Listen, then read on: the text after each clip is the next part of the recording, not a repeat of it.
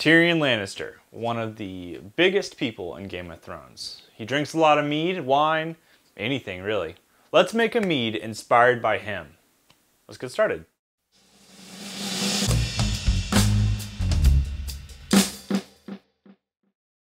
Hey, this is Man Made Mead. Today we're making a mead that Tyrion Lannister would be proud of. This is a pyment, which is essentially a mash between a wine and a mead because you have a grape juice base and you also have honey as a uh, fermentable sugar. So uh, this is going to be a very interesting and really fun kind of mead. Um, I am going to tell you the recipe is right there. We're using about 128 ounces of grape juice in total. We're also going to use two pounds of clover honey. And in the secondary, we're going to add a little more honey, probably about five or six ounces. We're also going to add a little buckwheat honey, which is what I have here. You don't have to add this, but that will add some uh, interesting flavors and a little more grape juice that totaled into that other one. We're gonna use the Lalvin EC1118, which is a champagne yeast, really, really good for fermenting, and uh, it's gonna be awesome. So let's go ahead and mix our ingredients together. That's the first step. Uh, I will say this, this mead is gonna be done probably in five to six weeks. Traditionally, these are not done that early, but because this is Tyrion Lannister we're talking about, and if you know anything about the show, uh, I don't think he really cares about how long something's been aged all the time. He just wants a good drink. So let's get mixing.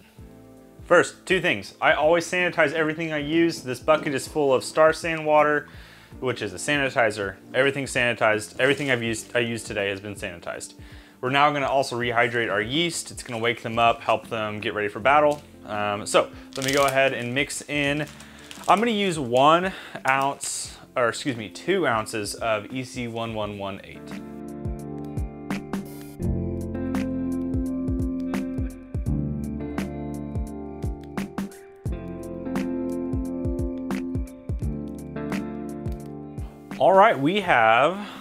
our mead so far right here, our pyment, as we're calling it, of course. Now, um, the next thing we need to do is I'm actually gonna take and pitch in my yeast, which this has been rehydrating for the last few minutes. It is completely ready to be introduced because they're awake enough. So I'm gonna do that, and then we're gonna take a gravity reading. What is a gravity reading? It's where you take a hydrometer, something like this, which is a plastic tube, you float it in the liquid, it floats to a certain point, which then tells you how alcoholic or possibly alcoholic your brew is gonna be. Let me show you how alcoholic this is gonna be. This is a hydrometer reading. You see here, it's floating. You can't quite see through the bubbles. It's a little bit easier for me to see. This thing is floating at 1.120. Once we have your starting gravity, you can take and find out how alcoholic your brew is gonna be. You can use this equation right here, assuming that you end at 1.000, or you can go to this website and you can plug in the uh, starting gravity, a final gravity, and find out from there. We're looking at roughly about a 15.7-ish percent um, mead, which is super high, uh, super high ABV, but again, Tyrion Lannister. I think that's exactly what he wanted, what he would want. So now I'm gonna take my, um, this is my airlock and I have filled it with my Star San water and we're gonna go ahead and place it on top of here. I'm gonna write down some information on the side of this, things like what it is, when did I start it, what's the original gravity, and I'm gonna put it away. It's gonna go through the primary fermentation, which means it bubbles a bunch essentially, and chew, the yeast will chew through the sugars here. So let's see what happens after the primary and see what it tastes like. All right, it's been a month um, since, a month and actually three days since I started fermentation on Tyrion's Pyment. And uh, I'm gonna go ahead and tell you the gravity reading because I believe it has stopped. I've stopped seeing any activity. Um, I see it's like slight degassing, but um, I, stuff I don't believe is fermentation. And I know that it's kind of stopped because it is not stopped at 1.000. We started at original gravity 1.120. We are currently sitting at a pretty sweet mead. This is sitting at 1.030. Now, uh, I'm a little bit surprised because I thought that our yeast would chew through all the sugars. However, they haven't. And um, I think that that is okay. We've hit that, mm, what's that percentage there? Um, 12%.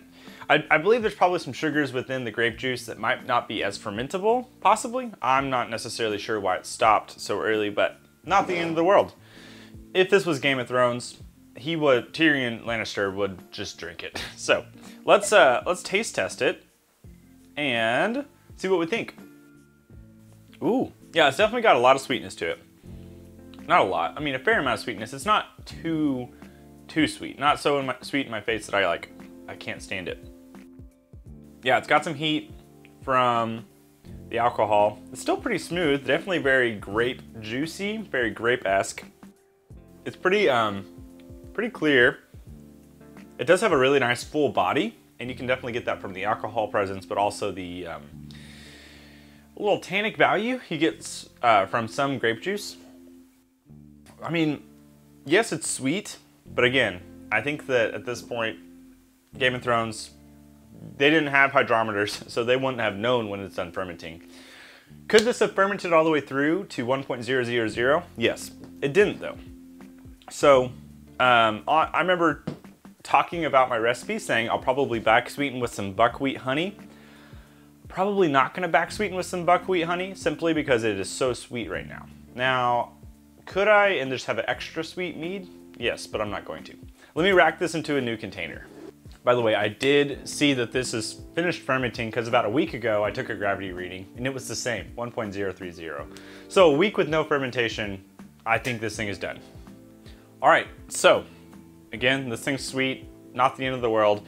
Not gonna add any buckwheat honey because it, it's too sweet already. Can you do this with your recipe if you make it? Of course. Should the yeast have eaten through all the sugars? Possibly, but yeasts are temperamental. If they don't like what they're doing, then they'll stop when they want. So you kind of have to do, you kind of have to feed them well. I thought I feed, fed them well. I did add some um, Fermaid O, some yeast nutrient to it to try and get it to keep going. Nothing. So that's that. I'm gonna go ahead and let this set for another two weeks and then, um, you know, we're just gonna enjoy a good glass of it in about two weeks and see how it is. So here's that time. It has been three weeks since we last uh, did anything with this mead, and I have a sample of it here. This is, of course, our Tyrion, Tyrion's um, Pyment. So let's go ahead and try it three weeks later. Very sweet. Ooh, the, the elusiveness of this is the, uh, the grape juice sweetness hiding the alcohol content. Holy cow, this thing could get you going real fast because we're still sitting I mean, at like 11 and a half to 12% mead. Full bodied, definitely very sweet, which can mm, heal some wounds, so to speak, with um, a mead. This thing's really good, and I am a firm believer that Tyrion Lannister would just be gobbling this thing down. Um, I, I know it's gonna get even better with age. Yes, it's sweet. Um, is that a bad thing? No. I mean, sweet meads are a thing. And it's it's definitely, my threshold of sweetness is here. It's like right above that. So drinking a ton of it might be kind of tough. But as it ages, I do believe the honey character that we get, which does pop through the grape juice, that warmth does contrast against the um, tartness of grape juice sometimes. There is sweetness, there's tartness in this thing. There's a full-bodied coating your mouth with the sweetness, of course. And uh, I get a floral side. I believe that all of those things are gonna kind of uh, meld together better over time. So I definitely plan on taste testing this six months down the road. Yeah, I mean, holy cow. So here's my plan.